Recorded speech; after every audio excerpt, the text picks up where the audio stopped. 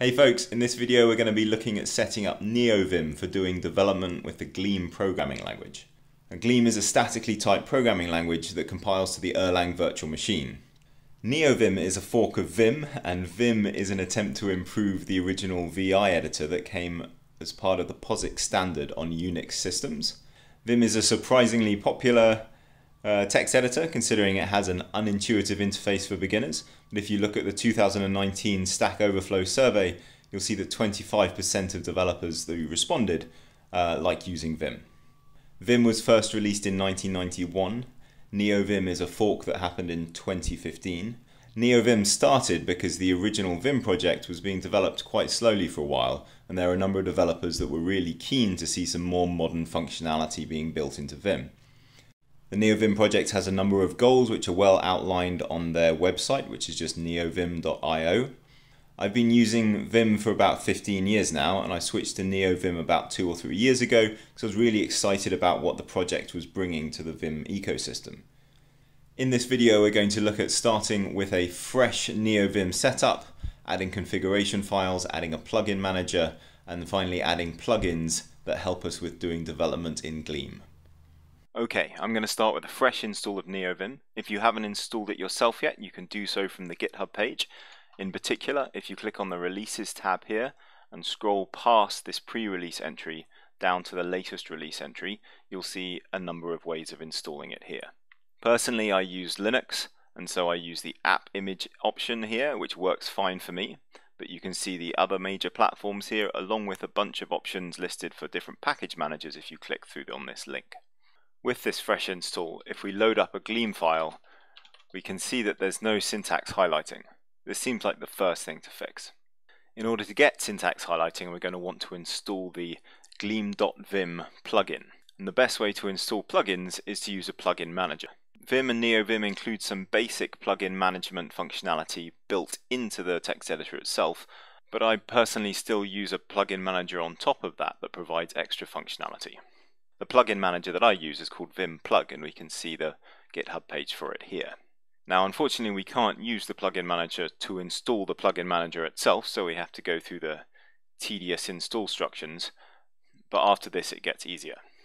To install Vim Plug, we can follow the instructions down here, which includes a curl line or other platform specific commands, but I'm going to show you the more old school way and just download the file itself.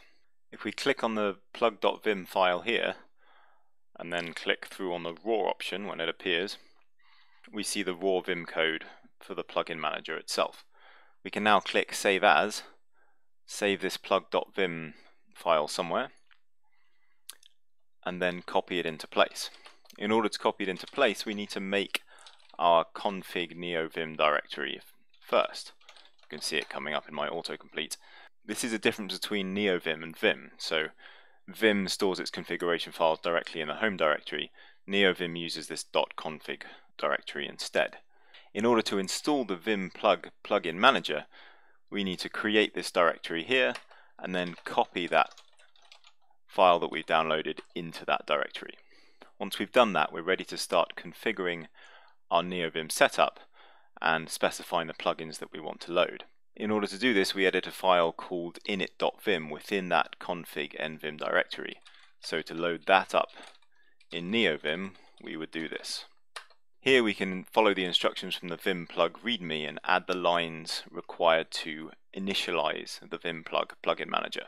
If we go and check out that README, we can see an example configuration further down in which they use this plug begin call and plug end to bracket the plugins that they want to load. So we can start off by adding those two lines into our config. So we've got call plug begin and call plug end. I've removed the argument we're passing to plug begin because it actually defaults to a reasonable value. Now we can see from the readme here that each plugin is being installed with a single line. Some of the lines include extra configuration, but mostly they include just a basic reference to what in fact turns out to be a GitHub URL, fragment of a GitHub URL. That's the most common configuration. So if we want to install the gleam.vim plugin, we need to go and find where that lives on GitHub. As it is, I have it up here in a separate tab, and we can see that it lives at github.com gleamlang slash gleam.vim. So it's this last segment of the URL that we're going to take for our configuration, this gleamlang slash gleam.vim. If we copy that and take it over to our config file and add it as a line here, we will have added the Gleam plugin to our config. Be careful to use single quotes here as double quotes are treated as comments in Vim script. With that line in our config, we can save, close and reopen NeoVim so that it loads that configuration properly. Once it's loaded, we can run plug install in order to install the plugin that we've configured.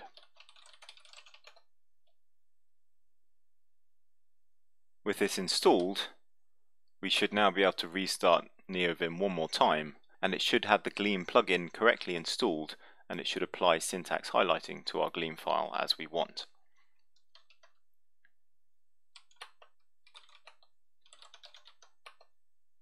Excellent, seems to be working. The Gleam.vim plugin also helps Vim to understand the output of the Gleam compiler. This means you can run the Gleam compiler from within Vim and Vim will read the error output and take you to the right line and column for the error. If I introduce an error, for example making a typo in a variable name down here, and then run make build again, you can see that it's displaying the error here, and if I dismiss the error, it's already taken my cursor to this variable that's incorrect, and I can fix it easily.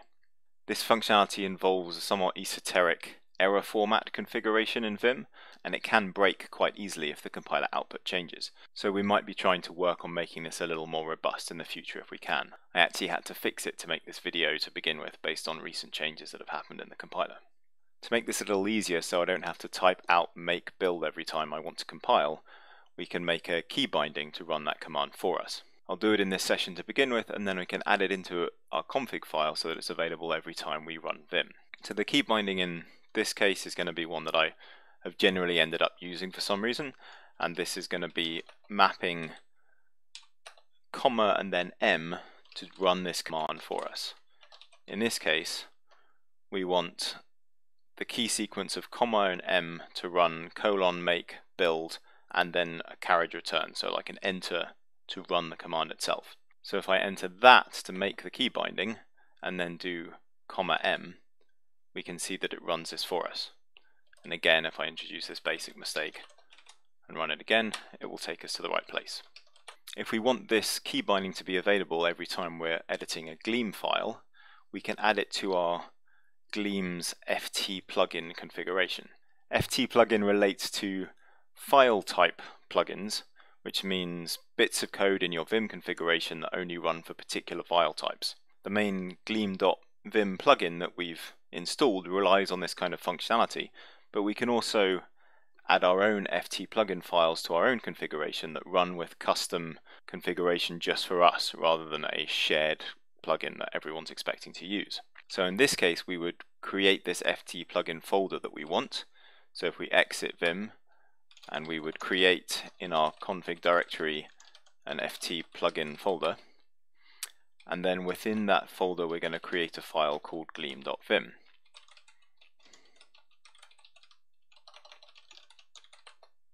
in this file we can add that key binding again. So if we do map comma m make build carriage return and save that, when we open our file main.gleam and run comma m, it runs that command for us as we expect. So the final thing we're going to look at is automatic formatting in Vim. A recent release of Gleam introduced Gleam Format, which will automatically format Gleam files for you. For those who aren't used to it, having a tightly integrated auto formatter whilst coding is a fantastic part of the development process. It was popularized by Go, I guess, gofmt. I've used it a lot with Elm, that has the Elm format project. And if you're in the JavaScript world, you might be familiar with Prettier, Generally speaking, integrating these tools into your text editor so that they're formatting your code neatly and consistently every time you save is a real bonus for your development process. Now, auto formatting isn't built into Vim as such, so again, we need to use another plugin to achieve this.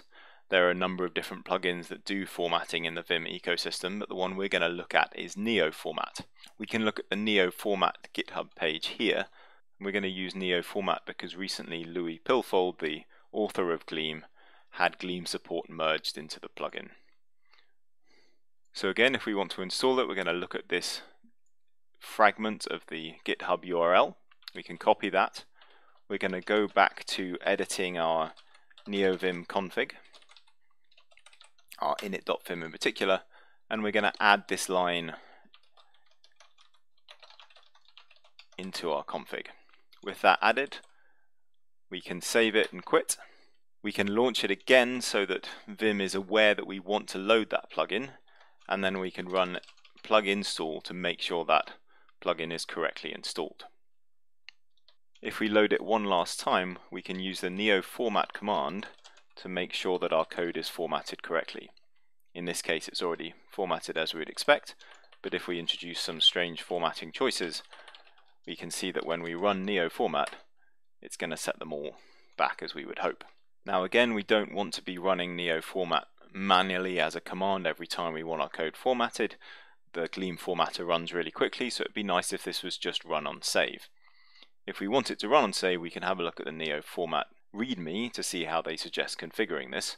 We can see that further down in the README, they have this auto command setup. This basically says whenever the buffer's about to be written, I would like to run Neo format and make sure all the changes are executed in one undo group so that they're easy to undo if we want. So we can add this to our setup if we copy and paste this and we go back and edit our FT plugin file like we did before. So we're going to look at config nvim ft plugin gleam. We can paste this in here. We can save this file, restart NeoVim so that that configuration is loaded. Now whenever we save a file, we'll see that the formatting is corrected, as we would hope. Thank you for watching. My thanks go out to Eskimag on the Elixir forum for suggesting this topic, but I hope you all enjoyed the video. Don't forget to like and subscribe if you want to see more, and if you have any questions or if there are any topics you'd like me to tackle in future videos, please leave a comment below.